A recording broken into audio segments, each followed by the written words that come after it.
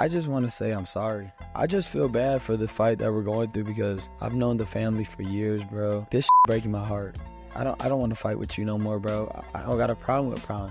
I had a problem with you. I drink this now. That's just bomb as bro. I love you, bro. I'm done with this fighting shit. I don't even know what you're talking about.